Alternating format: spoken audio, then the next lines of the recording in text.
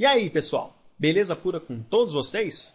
Na nossa 17ª aula do curso de farmacologia, eu vou falar para vocês um pouquinho do monitoramento dos níveis terapêuticos dos fármacos, que é uma aula para a gente encerrar todo esse contexto que a gente vem discutindo desde a décima aula relacionado com a farmacocinética clínica. Daí a gente já, nas próximas aulas, começamos a entrar em novos assuntos. Beleza, turminha? Então, especificamente nessa aula, eu vou explicar para vocês a importância do monitoramento dos níveis terapêuticos de qualquer fármaco disponível na terapêutica e vou mostrar para vocês como é feito um cálculo para se reajustar uma dose qualquer. Muita gente acredita que esse reajuste de dose tem muito a ver com a parte sintomatológica, mas na verdade esse reajuste ele obedece uma razão específica e que a gente consegue mensurar experimentalmente. E eu vou mostrar esse cálculo para vocês. Beleza, pessoal? Bom, então vamos determinar aqui a importância do monitoramento dos níveis terapêuticos de um fármaco, levando em consideração o seguinte aspecto. Nós temos então uma condição fisiológica de um órgão qualquer. Quando a doença surge naquele órgão, ele passa a ter uma condição patológica, ou seja, o seu funcionamento passa a ser anormal e isso prejudica os demais sistemas. Nenhum órgão é desejável ter uma condição patológica, e sim Caso esta condição patológica apareça, o intuito é sempre retornar para uma condição fisiológica. E nós podemos utilizar diversas abordagens. Uma das abordagens, claro que nós estamos falando no curso de farmacologia, é o emprego aí de fármacos nas terapias medicamentosas. Então, caso você tenha uma doença, principalmente doenças crônicas, né? Para uma condição patológica, um fármaco ele vai tratar de normalizar as funções daquele órgão para que ele retorne a uma condição fisiológica. E para que um fármaco seja capaz de promover este efeito, ele deve sempre estar em níveis terapêuticos adequados. Caso contrário, se não houver o monitoramento adequado dos níveis terapêuticos de um fármaco e ele não estiver dentro da faixa adequada, nós não seremos capazes de tratar uma doença, ou até pior, caso esteja além da concentração adequada, nós poderíamos ainda mais prejudicar um tecido que teoricamente não está com nenhum problema patológico, por decorrência dos efeitos adversos, coisas que a gente vai ver posteriormente aí no curso de farmacologia. Portanto, é extremamente importante se monitorar constantemente os níveis terapêuticos de um fármaco, porque é a partir destes níveis na qual já se foi determinado experimentalmente em grupos de estudo que é uma concentração adequada de um fármaco para se tratar uma determinada doença. Enquanto o fármaco estiver nestes níveis, ele será capaz de se tratar uma determinada doença. É claro que a gente não pode levar só em consideração os níveis terapêuticos, mas também a resistência do fármaco, por exemplo, a um indivíduo que não responde muito bem. Mas um dos parâmetros importantíssimos na farmacologia é essa manutenção. Caso essa manutenção não exista, nós não seremos capazes de tratar determinada doença. Certo, pessoal?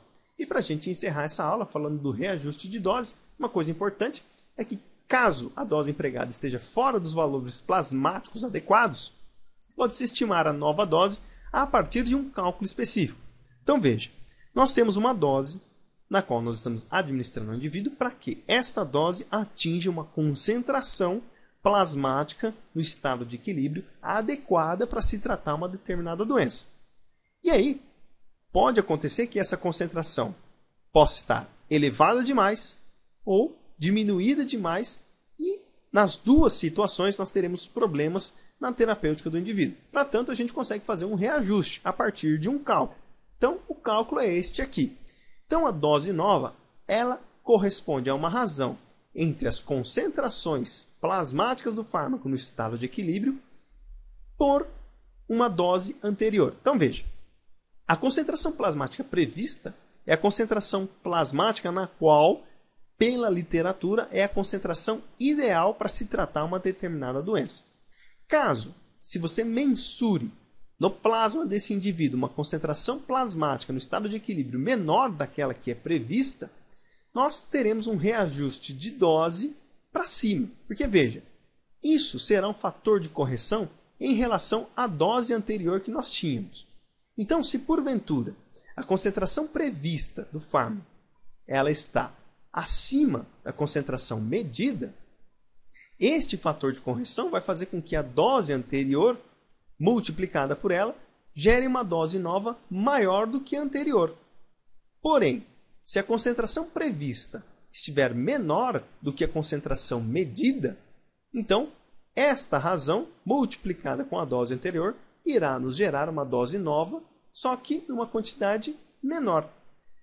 Este cálculo ele é extremamente importante, ele deve ser empregado com muita frequência caso a terapêutica não esteja tendo uma resposta satisfatória. Um dos parâmetros, como eu falei para vocês, para que exista uma resposta satisfatória a uma terapêutica medicamentosa, é você manter a concentração plasmática no estado de equilíbrio de um fármaco sempre em valores adequados e já pré-determinados por estudos clínicos. Caso esta dose não esteja dentro destes parâmetros, nós utilizamos este cálculo aí para fazer essa correção para uma dose nova. E isso, obviamente, pode ser utilizado para qualquer fármaco presente na terapêutica. Beleza, pessoal? Essa aula foi rapidinha, então. Essas foram as referências que eu utilizei para essa aula. Espero que vocês tenham gostado. Se vocês gostaram, não esquece nunca de dar o joinha e compartilhar esse vídeo porque isso ajuda muito na divulgação do nosso material e mais pessoas serem beneficiadas aqui com a Escola de Ciências da Vida. E se você não é inscrito no nosso canal ainda, clica no botão se inscrever e participa lá do grupo e da página da Escola de Ciências da Vida no Facebook. Também não esquece de participar do canal do YouTube e da página dos nossos queridos parceiros, o professor Rogério Gozzi, o Diego Barros do Medicina Resumida e o Carnamax do canal de Biociências. Como sempre, todas as informações estão aqui no descritivo deste vídeo. Beleza, pessoal? Então é isso aí. Forte abraço a todos, fiquem com Deus e até os próximos vídeos, se Deus quiser.